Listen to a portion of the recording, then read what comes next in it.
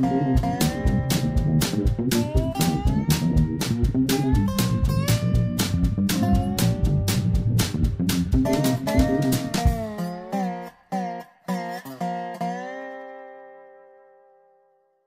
is Dave Monk, Prairie Monk, WEFT Champaign 90.1 on your FM dial. Dave on the board. This is Sunday, January the 21st, um, 2018, and this is the Prairie Monk Show, WEFT's weekly look at the environment, rails, trails, greenways, melting snow, drizzle, fog, and all the other sorts of stuff that we get this time of year in East Central Illinois. A couple of uh, extraneous things here. Uh, first of all, I, I have been looking for a, uh clamp that clamps your cell phone so that you can tie it onto a, a tripod. So if you wanted to cover something for something more than 10 minutes, you can't really hold your camera still in your hand. So you need a tripod, and you need to be able to connect the camera some. So this is a little device, and it uh, is very, very helpful. And uh, so uh, uh, you have to look for it in the camera departments, not in the uh, cell phone departments. One doesn't seem to note the other one. So just look around, and if it, the answer is no, you might look at somewhere else. But it's the sort of thing that can fit, fit into your pocket and uh, is very handy. And it's part of the cell phone era. Second thing I want to comment on is the, the state decides after you have had uh, license plates and you have a little uh, sticker to, go on. Eventually, you get 10 stickers there, and that's enough. Uh, they all come off at once. Uh, so the state gives you a new license plate. But uh, when you do that, uh, the bolts that hold your license plate on have rusted like crazy. And I just wonder how many people in Illinois are having a, a, a time putting that uh, plate on. They, they give you a little sticker, which is a T sticker, and that indicates that you have paid your license fee and you have your plates because you've got to get them on. You'd think that they would just send you a tiny little scraper, a really sharp little knife, to just take off the entire stack of 10 that were already there and you start Yes. fresh. And uh, it's so I've had friends and relatives out there helping to to uh, instate my new plates, and they'll accumulate another little battery of uh, stickers on the top right-hand corner. Uh, those two things. Well, we have to say farewell to the pocket prairie. The, the uh, Pocket Prairie has been there for over 30 years, uh, and the building to which it is a, a part has uh, been leased, and uh, we have to get out of there. So once again, I've had quite a bit of help from uh, Rich Cahill, Al Fredericks, uh, Bill Allenwell, and others uh, to, to get out of there and provide parking space for the new tenants. It will be a restaurant and uh, a, a local brewery, and uh, we really do wish them well. We thank them for the, the uh, years that we've had. Uh, Smile Politely has a, an article on, and, and the News Gazette also has an article on what will be the intent. The building has been empty for quite some time, and we've been glad to have a pocket prairie there.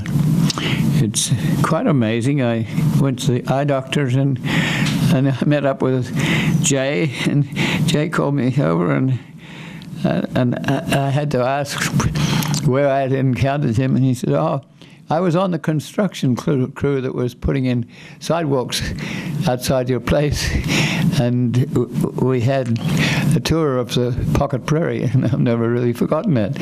And so we talked, and then uh, he, I asked him what, what he was doing now, and he, he's working for Clifford, Clifford Jacobs, which is a, um, an organization that uh, makes uh, blocks for vehicles. Uh, they do molten steel and, and pour blocks.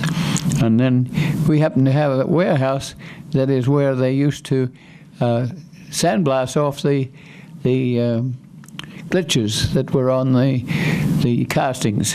Uh, so just just meeting people and talking, uh, find out what they do and why and how, and uh, that, that that has been a part of the uh, Little Pocket Prairie. Let me give you some history. Uh, the Pocket Prairie had two 30 foot signs there, very, very, very large signs. And University Avenue happens to be a federal highway, and using Lady Bird Johnson interests, the, the uh, uh, that was grandfathered in for 10 years. Grandfathering means that if, that if you've been up with a rule that uh, has changed, uh, the Congress has changed it, or some other body has changed it, then you get to, to have your old rule for 10 years, and then there's a change. So you, you don't come into it suddenly, you, you get time to change it. Well, these two 30-foot signs went down to one, probably about a 12 by 12 at the end of the corridor. The, the resulting battle axe prairie uh, it was a, a, weedy patch and uh, an awkward patch. It's uh, uh, it's like the battle axe means that you the building that is attached to is like the axe, and the, the handle is is where the awkward spot is. Uh, we figured that we could put our own weeds in there instead of having sort of urban weeds. And uh, we asked Dr. Youngerman, who owns the, ter the, territory, if we could do that, and the answer was yes. It uh, would probably save him quite a bit in terms of having to mow it or deal with the weeds. Uh, we uh, uh, brought in some um,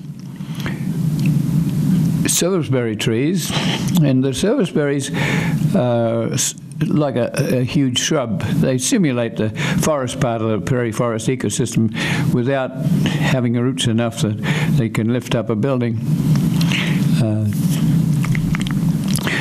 and they became the, the simulated forest of the prairie forest ecosystem.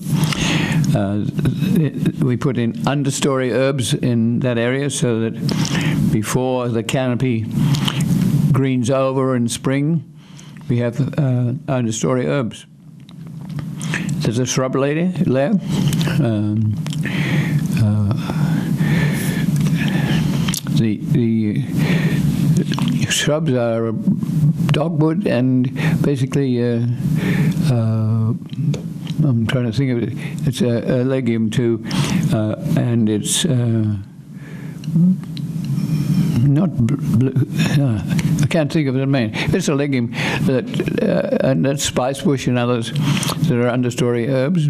There are uh, vines that crawl through the, the layers of the forest, and uh, then there's the forest itself, which has a, an edge timber where you can move out and you can realize that the animals that foster in the prairie would come back to the forest like a big grove uh, to uh, nest, to be protected, uh, to uh, sometimes find berries and fruit, but they roam out into the prairie, which is rather wet and not really a good habitat for for nesting.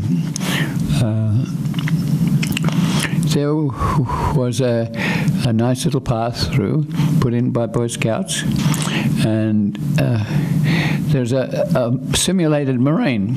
You have to know that uh, the landscape uh, was morainic, A moraine means that there's a glacier, a continental glacier comes down to that point with that particular temperature and might remain there for a thousand years. And it's gradually coming forth from uh, places like the Laurentian Shield in Canada and dropping gravel.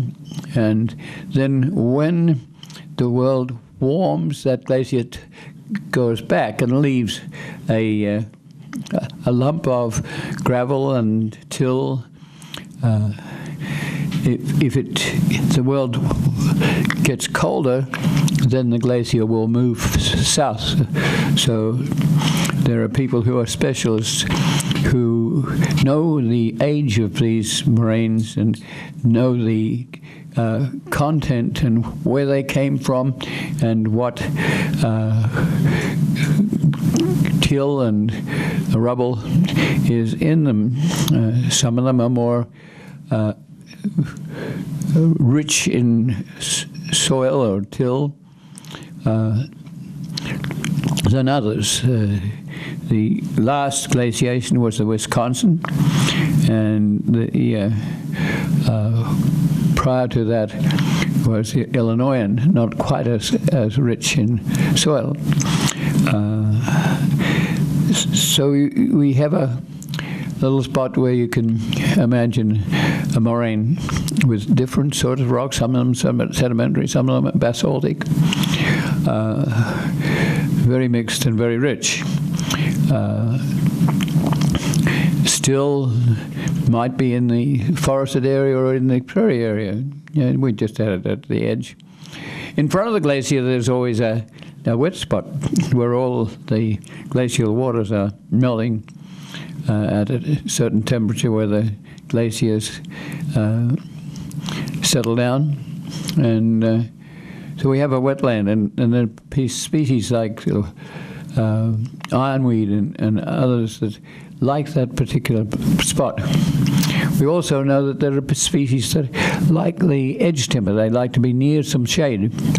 Most of the prairie plants are perennial, and they uh, like a lot of sunlight.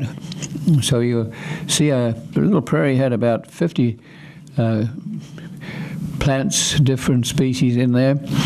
Uh, it reduced to about 30 because uh, the soil we have on that little battle axe shaped plot is uh, landfill. It's it's brick bats and glass and and all sorts of things that don't amount to good glacial soils. So some of the more elegant species that we had there have disappeared gradually. We also have urban rabbits and other creatures that like to eat our prairie.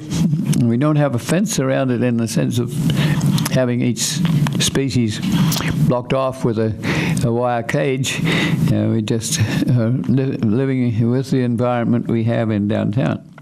We do have birds. We have cardinals that have two families a year. We have uh, finches, uh, goldfinches that seem to like the seed that we have. Uh, and it's amazing. We have uh, sometimes Cooper hawks, which will take out a dove uh, because the dove moves fairly slowly.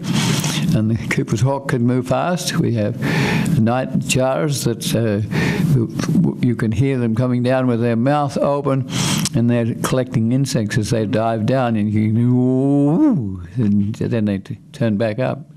We have Canada geese. We have a couple of uh, that are, they they mate for life. So uh, they uh, have a nest on the know, pedestal of the water tower, which is a little bit further north. But they come as a pair, and they sit on the buildings next door, and they talk to each other and go on, and off they fly to some other location.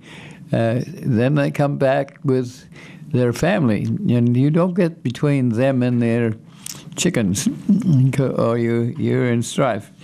Uh, they are big enough a, a bird that they can uh, land on your back and and and and flap their wings, and you're sorrier for it.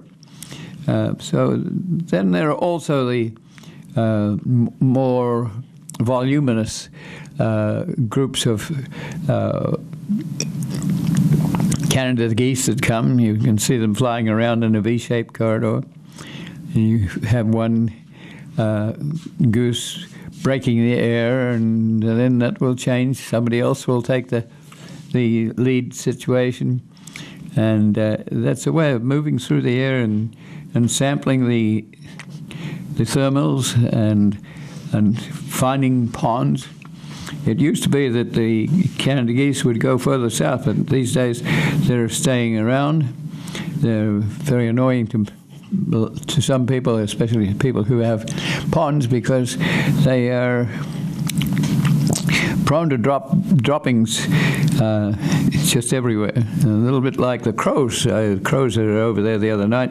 There were hundreds and hundreds and hundreds of crows and they were, uh, on our trees in, in the prairie, but they were also lined up on the railroad station roof. Uh, crows are pretty intelligent creatures, and uh, they they uh, select a tree for the night, and that's it. And afterwards, you have a whole lot of guano. So we've talked about the city having the to wash the pavement uh, after the uh, crows have used two trees as a, a rookery. Uh, so we have that too. And, uh, and, right now there's, there's a whole bunch of guano over on the little prairie. Uh, so there was a trail. Now you have come through the edge timber. There's a little area for people to meet and sit and enjoy, and that's been used over the years uh, uh, a lot, and people remember it. And the trail goes around and drops down. The, the area was terraced so that the 30 foot um, signs had a, an elegant base. Uh, that provides an opportunity to plant uh, prairie plants. Mostly we planted plants rather than seeds because seeds take five, ten years sometimes to grow. And uh, we had and have right today uh, the litter provided by the big blue stem, Indian grass, switchgrass,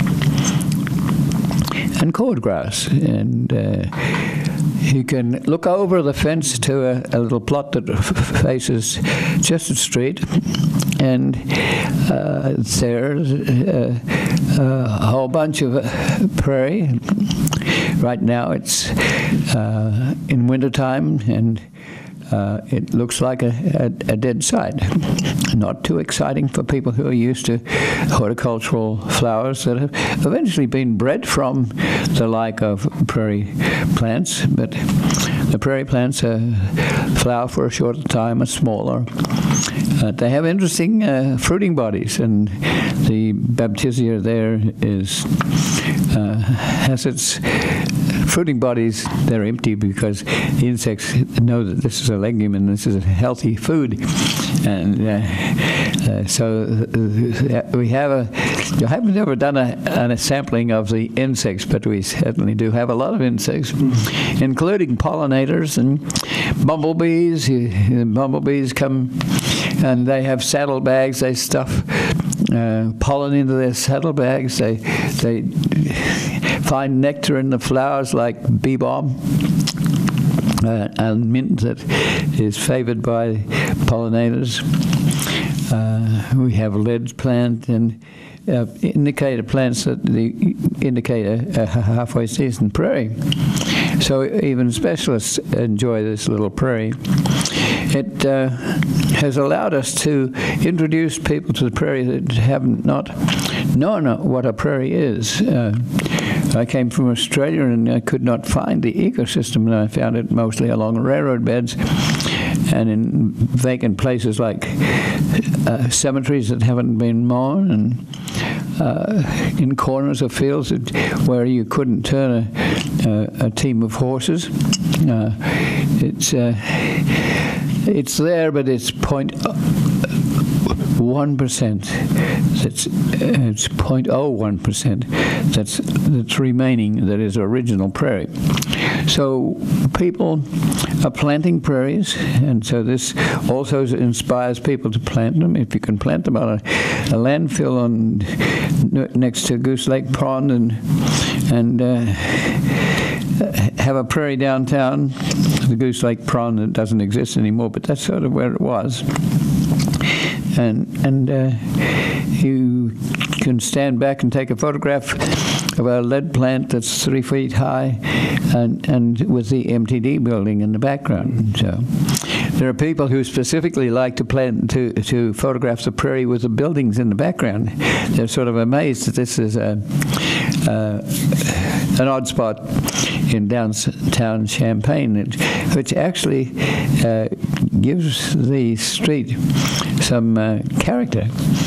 Uh, we do have people who use it alternatively. We have some people who drink beer or uh, sleep there or uh, roller skate on the, the building next door or even die there. Mm. And, and uh, so you have homeless people who like to use the site in summer when it's cool and the, the forest part of the prairie is, is shaded. Uh, but there are also pernicious people who do things like take the copper out of the uh, commercial air conditioners behind a building, and that costs you $3,000 to replace the, the copper for which they would probably get some $5 or $10. Uh, but uh, without watching it all the time, there are dozens and hundreds of people who've come back. Uh, children bring their parents, their parents bring their children. Uh, they sit there and read the paper, they read a book, they, they uh, are just enjoy the site, which which demonstrates its usefulness as a pocket prairie in, in a downtown. Uh, there are places like Chicago where they try to do this sort of purposefully. They don't put the buildings up to the street level. Like there are buildings on University Avenue that have very little set of setback and very little room for a tree or or a space to think. Uh, and what space is left is right adjacent to University Avenue and all the traffic. Uh, so this is a quiet spot and one that is enjoyed, sometimes violated. You have to have someone nearby who will be out there with a flashlight at 12 o'clock at night and, and give field trips so that at least the people who are there smoking a joint or something like that. Uh, but there's another reason for this little spot to be uh, preserved. Uh, we have to deal with uh, policemen who who have uh, take care of these sorts of things, and, and especially if there's people sleeping there. Uh, so there's a, there's a yin and a yang to this little prairie. We have it fairly well documented, but uh, it's, it will be sad to see it go. Uh, the area is being looked at by a lot of people. Uh, can we have some development which would include a prairie plant or a, little spot? Uh, possibly not, uh, but uh, if you go to Smile Politely or the News Gazette, you can find some of the details because the people are, uh, I think, coming in from Peoria and uh, they going to let people know what they're doing, and uh, so that'll be rather interesting. Uh, we have to thank Dr. Youngman profusely for letting us have the site for 30 years. Uh, we have to thank Tom Pansom and other managers for Dr. Youngman's Kuhn's uh, clothing store and other buildings, for they have been interested too uh, and very helpful. And we've had parking on this end of it, so uh, that's what we'll have to get out of now. Surprisingly, this week we had, or last week, we had a big class of architects. These are senior students, and uh, I, ju- I just happened to look out and see uh, a, a bunch of probably 20 or so, 30 students, and uh, asked them if they would like a field trip. I'm always doing that. And uh, yes, and I think they were kind of amazed. Uh, they have to also think about gentrification and fitting little nooks and crannies in here and there that make uh, a, a city interesting. So I, I took them on field trips. It was cold, it was icy, it was sloppy, it was, it was snowy, but the, the, the plants were there in their winter array. And if you're a prairie nut, you can see the big blue stem dropping down like a, a bundle of skittles. You can see the winter reaction. Uh, it's absolutely amazing.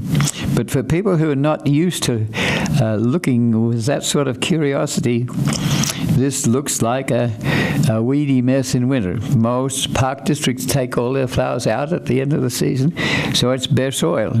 This is not bare soil. This has got all those plants and some creatures too that are in that location. Uh, the piece that's uh, the, when you walk around the the uh, piece that it own, is owned by Dr. Youngerman, there's a piece that's owned by the Pope family on the other side, and and you can look over and see rosinweed and coreopsis and uh, uh, baptisia and uh, little blue stem lined up in a line along a, a very formal planting. But it's a, a- a- little blue stem is a, quite a di- diplomat. There's a there's a a big uh, prairie dock there. It probably has a, if allowed to do so, it probably has a 10 foot root. And it shoots up its fruiting body at least 10 feet. And that's a problem because it has been, a, uh, it violates the dignity of uh, the uh, uh, smaller volume uh, advertising side on the side above the prairie. So we have to, to prune it, unfortunately. Sometimes it gets left, the, the sign has been removed now. So this year the, the prairie dock has been able to express itself.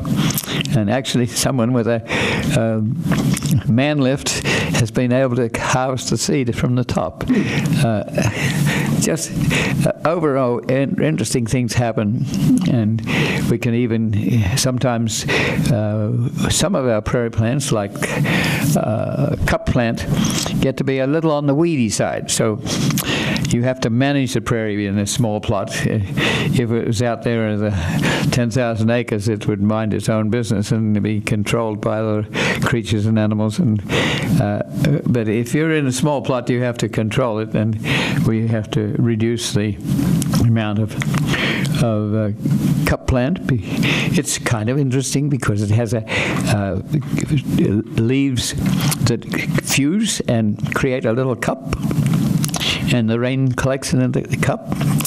And you could do 10 PhD theses on what goes on in the little cup, uh, paramecium and all sorts of other creatures in there. So it's an interesting plant, but it also is a fairly aggressive plant. Tall Coreopsis is a t- uh, fairly aggressive. So the ones that we have survived, about 30 species, are uh, the strong elements of the, of the prairie, or the ones that have a, can survive in that habitat. It, uh, uh, we can even have some prairie smoke and, and, and a few other more sophisticated species uh, if we can provide them with a habitat that's like unto the nature. Uh, you can go around once and be surprised.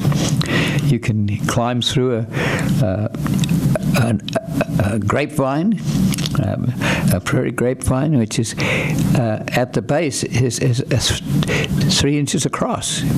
It has grown large. It grows into the tree, uh, and uh, I purposely leave it there uh, so, so, that people can have to crawl through it and have to ask, what what is this thing? Uh, and uh, just recently, as in preparation for the future, it was taken out, and uh, uh, so you can now walk very directly uh, through that corridor without having climbed through the grapevine. But it, it was serving its purpose in its day. It actually has nice little grapes. They're very, very bitter, so you don't eat them very easily, but you could. Uh, you got to wonder a little bit if you're eating something from the, the pocket prairie because the roots are, are into a landfill and you don't exactly know what's in the landfill, but uh, kind of fun. Uh, some of it leans over the fence. Uh, some of that causes problems. We had a, a, a nice uh, lead plant right on the fence line, and it would poke its nose through the, the fence. And uh, then it get herbicided. So uh, people who herbicide and clean up their side of the fence don't always realize that this has the, the herbicide is um, a.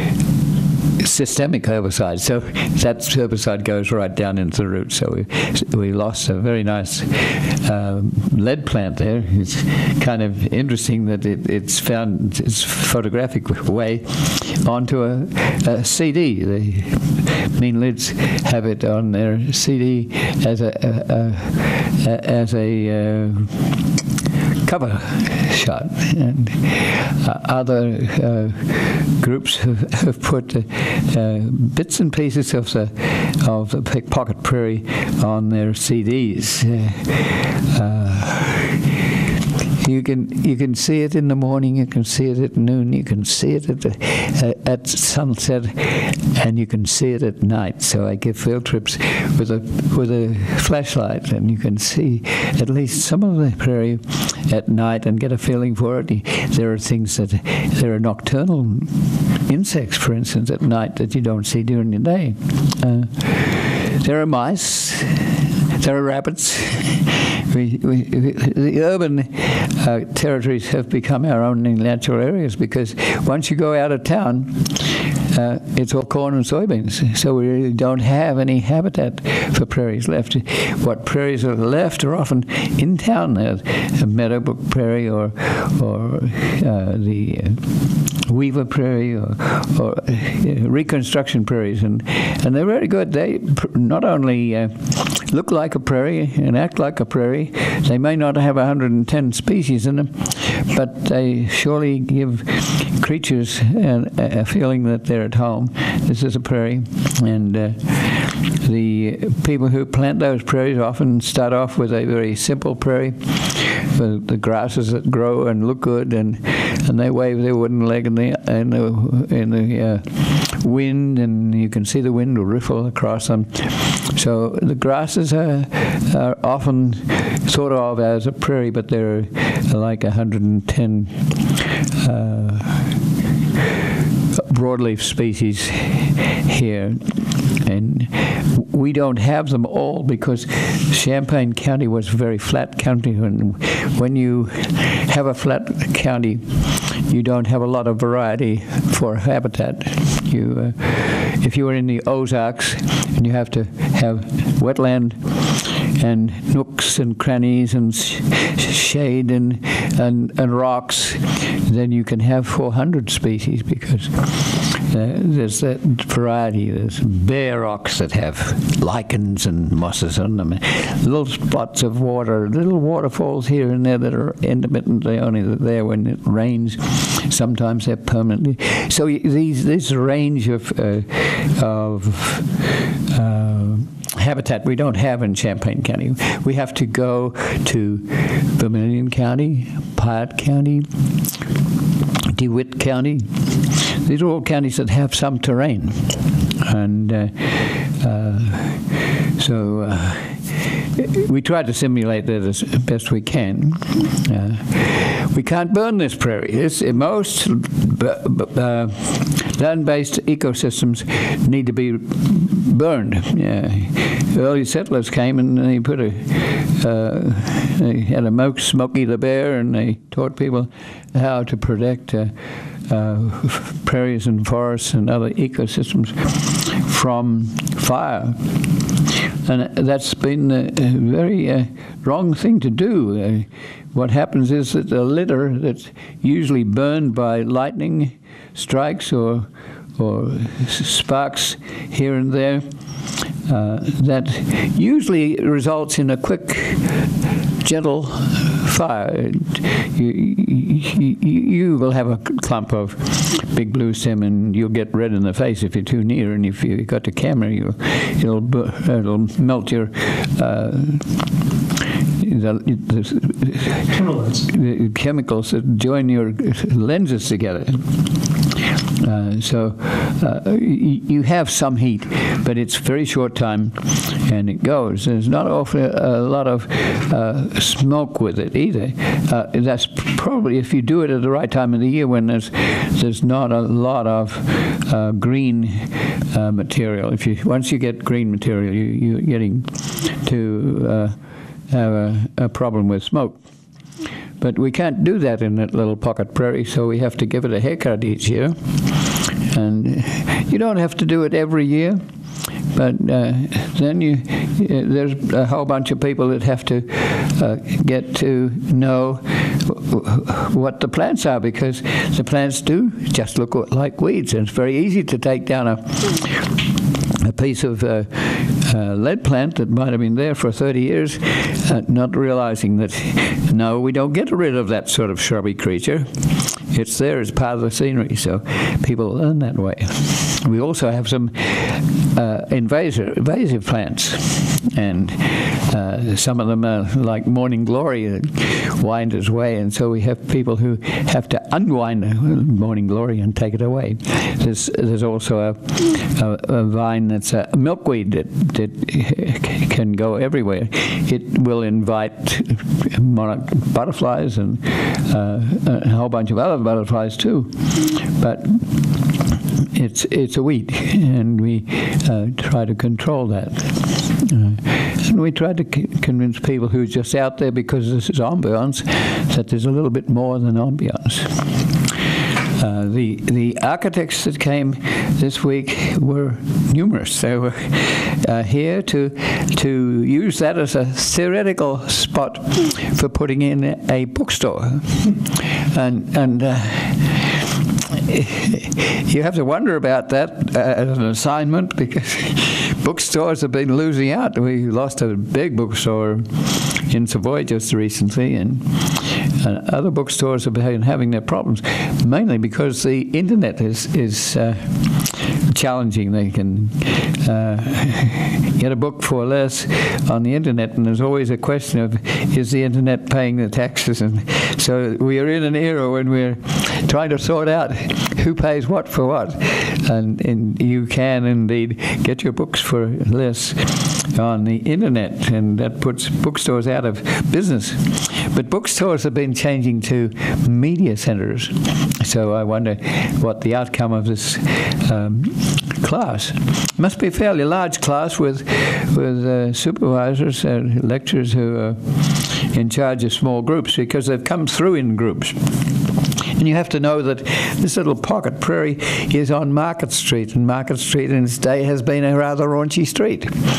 And, and it was uh, part of the East Central Illinois mafioso with, with a whole bunch of, of uh, uh, areas where uh, there were bars and uh, brothels and places of interest, uh, perhaps a coffee shop in front, but starting price breading in, in behind. Uh, people would come to town and stay in places like this, uh, or go on to Chicago and, and, sometimes drink down their their earnings and come back.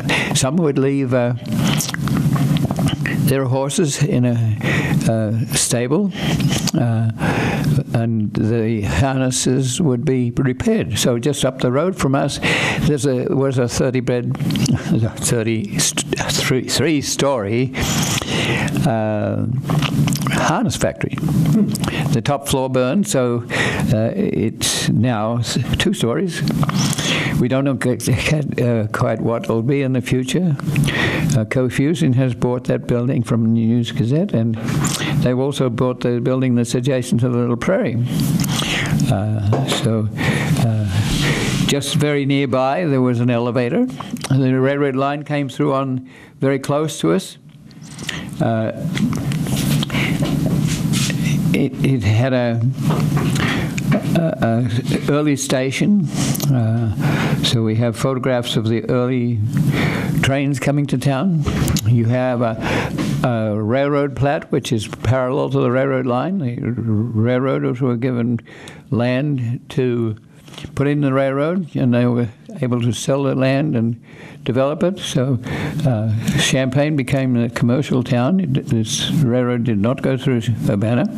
We're not quite sure why. Sometimes people didn't want uh, railroads to come through their town. Uh, and, all the steam and and coal and whatever that goes with it. Sometimes it's the geological situation. Uh, so in early days, you had a place where uh, called a Dome House, I think, that was uh, on the east side, and that's where the engine drivers would stay and the railroaders. Uh, and there, then there was a, an old railroad station, a depot, and it served for quite some time. But in about 1923, uh, that depot was uh, rather cleverly for the era uh, put on rollers and skids and, and pulled up the corridor a little bit. So if you go to the Black Dog Saloon these days, that was the old, old railroad station.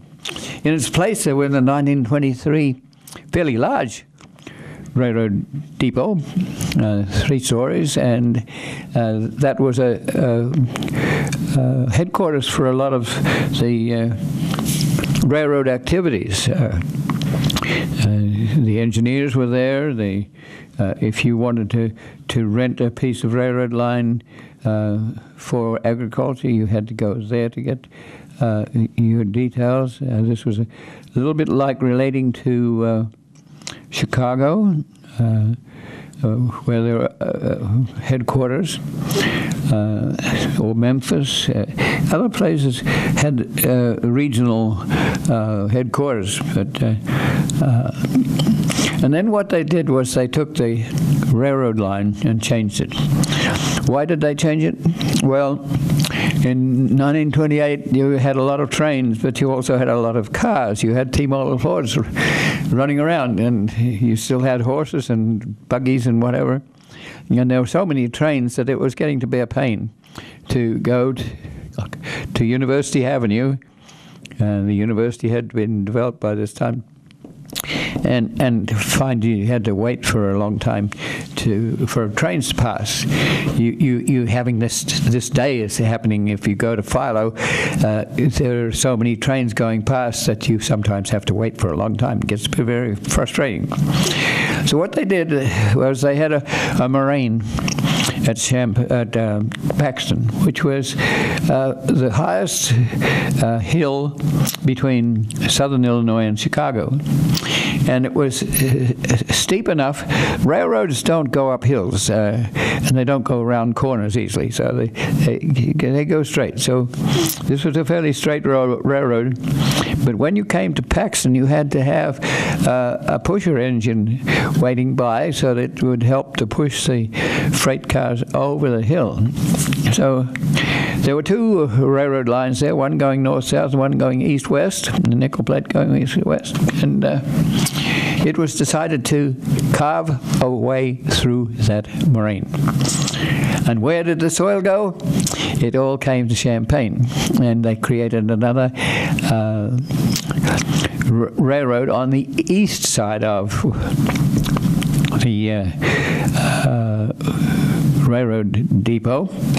So the line that used to come by just adjacent to the little pocket prairie uh, now was on the other side, and there were uh, four tracks uh, in some places. Uh, there were a lot of trains, and there were a lot of passengers, and this was the only way many people came to to uh, East Central Illinois. Some came up the rivers when they were uh, at a peak flood and could handle uh, flat bottom boats uh, or canoes and things like that. But many of them came with railroads. Some few of them came by uh, canals, which were almost obsoleted before they got into action. They were obsoleted by rails. And they have continued to some extent in the Illinois River and Mississippi River, where they have uh, perhaps 29 locks and dams that, that keep the water high enough for uh, punts and barges to still operate. Uh, it has a lot of controversy to it because it takes out the nature of the river, takes out the waterfalls and the and the uh, uh, the regime of of a, an ecology that's dependent on wet sometimes and dry sometimes, and uh, uh, there's a whole bunch of netters that like to be in in ripple, ripples or uh, and, and they hide under stones. They they collect bacteria with nets, and it's rather wonderful. But the commercial side of things means that that river has been channelized. That means that you straighten out the curves so you don't have big meanderers that take you a long while to get through. You have uh, cutoffs, and those cutoffs run water fast. But if you have powerful uh, paddle wheels and steamers that can negotiate that, they can get up the river faster than if they had to negotiate the meanders, and you have to know that the meanders cut in at one side, but they have beaches on the other side, and so it's it's very easy to have shoals and sandbars that where you can get get stuck. So it wasn't easy to get up the, the river or down the river. You had to uh, know about flooding. You had to know that when the rains, rainy season came, then you're going to have uh, a very rapidly moving river. You could uh, almost have a, a, punt that was built uh, to float down the river. You didn't really have to have a uh, a driving force to take it. It. You could go down to Memphis and, and and New Orleans, and there you could just leave the the, the um, punt and take a, a Natchez Trail or uh, back up north and do the same thing again. Uh, as you got power and uh, you you could avoid that, and as you put in dams, you could avoid it. So some of our nature has gone in that direction. Uh, in east central Illinois, we didn't have a river. We have the Sangamon, we have watersheds.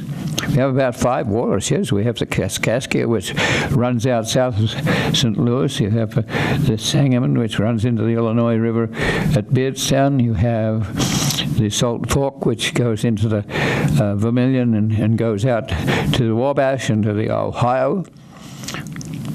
Uh, and north is some rivers that actually move north. Uh, but uh, this was very swampy area. It was flat and uh, involved moraines, the Champaign Moraine, the Bloomington Moraine, the Urbana mm, uh, Yankee Ridge Moraine, a whole bunch of things. And there was another river there that was the uh, Embarras that took uh, uh, water south and also joined the, the Wabash.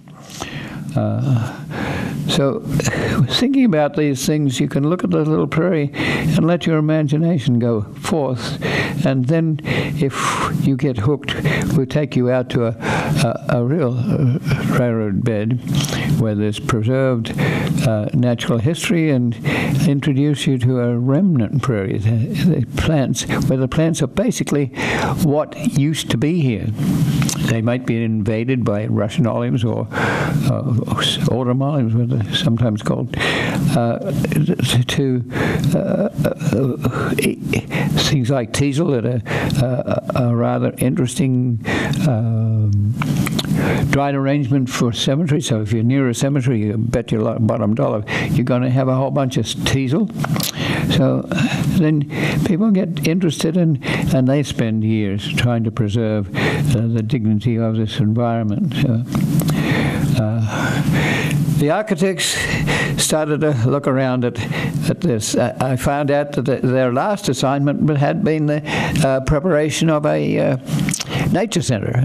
So, uh, and others were interested in low-income housing. And so I talked to some of these people, and this is very typical of just how we interact and how they get to know the street, how, how they get to know the butt out, and I don't know what you call it, but on the second floor of buildings like uh, the uh, Seven Saints, there is a, little alcove where you can actually sit and look up the river, up the, up the street, and see what's going on. And that was kind of essential in the era of, of mafioso. You, you needed to know who was who and who was what and whether and who was paid off.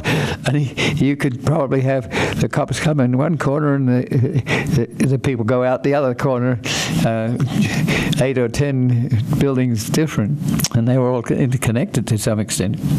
By the 50s, uh, this area became a, a center for rotogravure, preparation of the materials for uh, newspapers and production. And uh, the Grubb family was here. They came in about 1956 and occupied land on the uh, Walnut side of the street, but also the uh, Market Street side of the street, and the News Gazette was just up the road. And so you you had linotype machines, click, click, clack, clack, clack, click, clack, clack, clack, and, and so you would set uh, uh, lead to represent your letter, whether it's A or a Z, and then you would have journeymen that would put those letters together, and you would have photographs made uh, that were uh, in lead also. So eventually you'd get a, a, frame with your newspaper page up, and you couldn't send that out to everyone. So it was an um, advertisement. You had to then take a, a paper mache copy of it. So we had big presses where the, the paper mache copy was made, and if you were sending it off to Watseka or somewhere else for their paper, their advertising, they had a counterpart machine where they could pour lead into that uh, that form and uh, uh, then print from it. Uh, more sophisticated was the fact that the Grubb family used to uh, prepare uh, graphic material for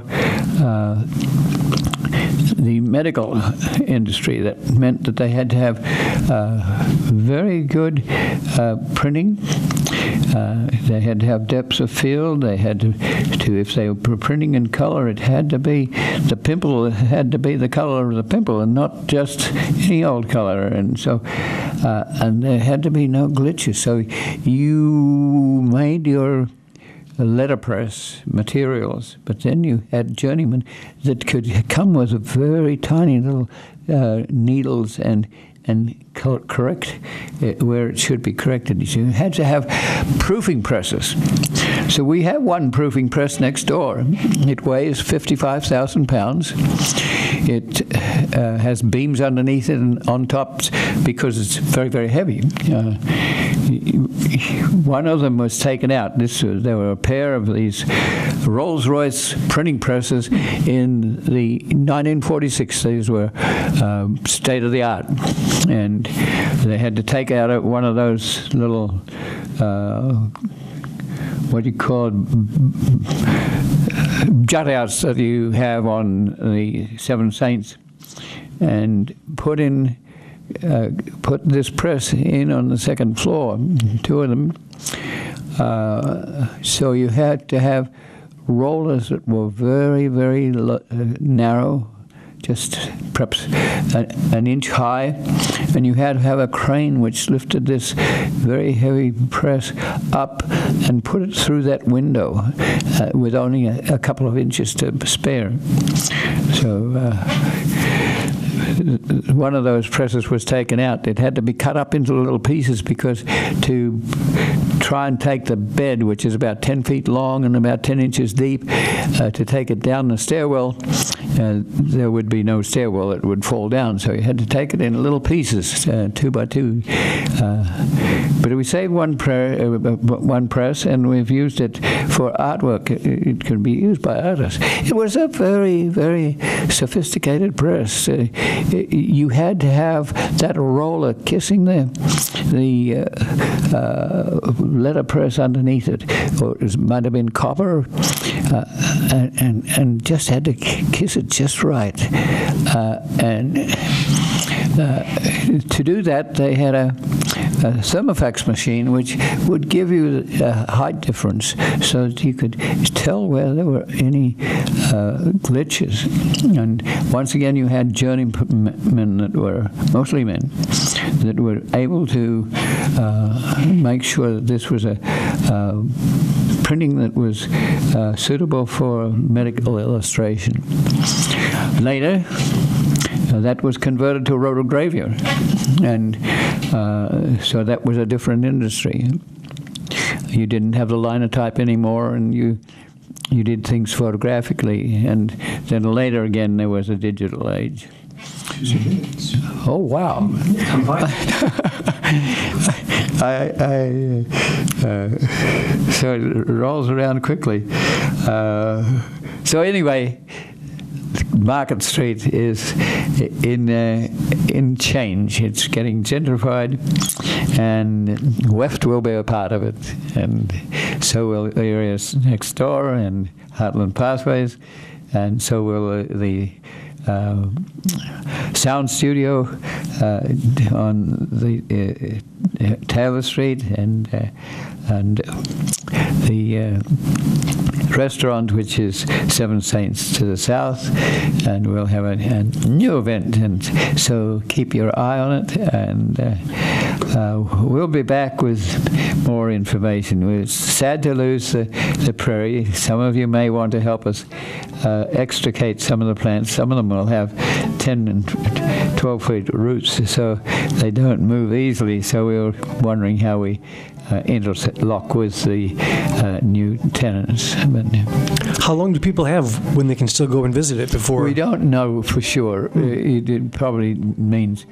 Uh, I, I don't think there's going to be too much development in cold weather. So we'll, We will, we'll maybe ha- a couple of months, even weeks for sure, though. Uh, I, I, I'm not even sure about that. Oh. It- it- when you have a lease like that, then the, the leasees need to take over. So uh, it might be immediate.